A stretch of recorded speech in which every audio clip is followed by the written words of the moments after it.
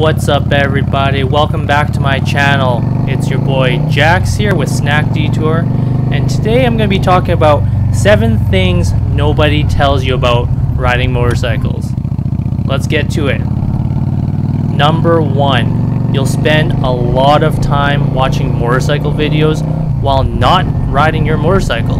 Whether it's looking at your next bike purchase, mods for your current bikes, yes, plural, or maybe how to wheelie videos knowing you'll still never attempt it for fear of wrecking your bike.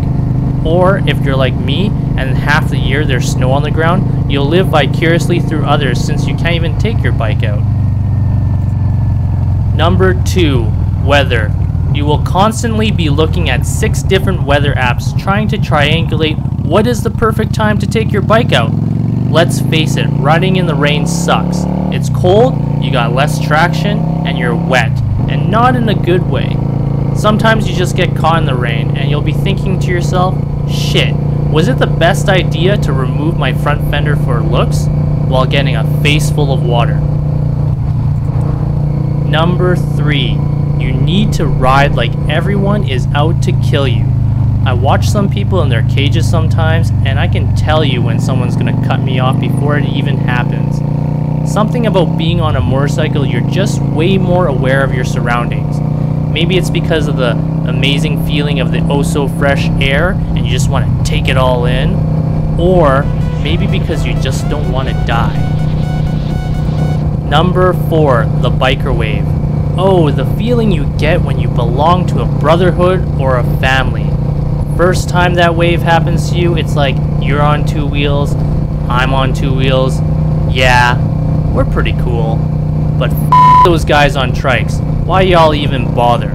Also, the shame you feel when you wave to guys on scooters when they're far away and you can't tell, then you quickly look around to make sure no one else saw you wave at them. Number 5. Swapping visors. So this is not that big of a deal, but before I got the Shoei GT Air, I was always planning out my day whether I was going to be out riding still at night and if I needed to bring a clear visor. Either you're blinded by the sunny rays if you go with just the clear in the daytime, and in the night you're blinded by the darkness with a tinted or mirrored visor. Either way, if you're riding towards the sun at the right time of the day, you're blinded no matter what you're doing.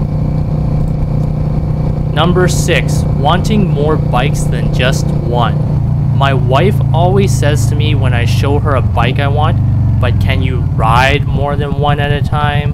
My response is, how come you have so many goddamn shoes? Can you wear more than one at a time? Well, I guess, two. For some reason, whether you're into cars or motorcycles, you just can't stop at one. Here's some wise words to live by. The correct amount of motorcycles to have in your garage is your current amount plus one. Finally, number seven. This one's gonna sting a little bit, but no one cares you ride a motorcycle. Alright, maybe just your mom. But for the majority of the population, they just don't give a damn. In reality, people will think you're stupid for risking your life every time you throw your leg over that bike. But there's absolutely nothing wrong with that. If you're a dude and you think you're suddenly gonna get more girls' attention, that's gonna be a big fat no. In fact, you will most likely attract more dudes telling you how awesome your bike looks or asking what kind of mods you have on there. If you had a good laugh, make sure you hit that like button and smash that subscribe button for more content like this. Remember, always be snacking. Bye!